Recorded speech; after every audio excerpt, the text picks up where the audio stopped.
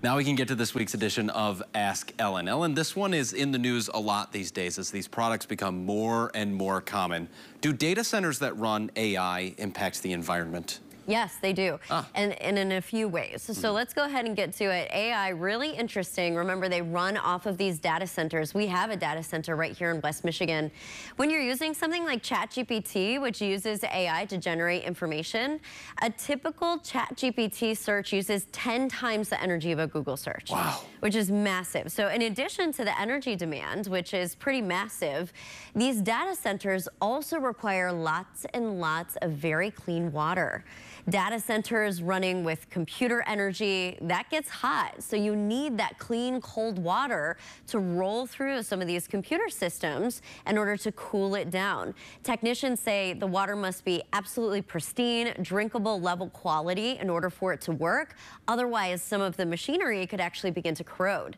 So a lot of these data centers are pulling from municipal water, mm -hmm. some of that mm-hmm. clean water that usually goes to residents. Mm -hmm. Very interesting stuff. And 20 there are only 500,000 data centers in the world only. Now in 2025, it's grown to 8 million, wow. which is incredible. So there have been some talks about regulation underway on a global scale.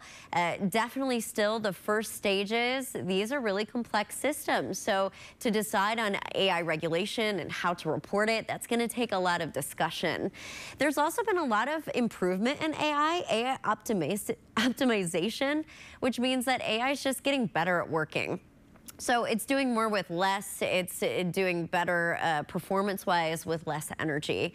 Now, the last thing I want to bring up is it's not just consumption. AI is also giving back. Mm. There are a lot of ways it's making a lot of things more efficient. For example, one study says that an AI-run home uses 40% less carbon, Farmers are using AI like crazy to optimize how much water they're using, how much insecticide and fungicide. So AI could actually improve a lot of things, including how many clouds airplanes produce. Really interesting stuff. You had to muddy the waters with that last slide. I know, I'm sorry. I'm like, bad, bad, wait. bad. Still good. There's much more, mm -hmm. yeah. All right, thanks, Ellen. Yeah.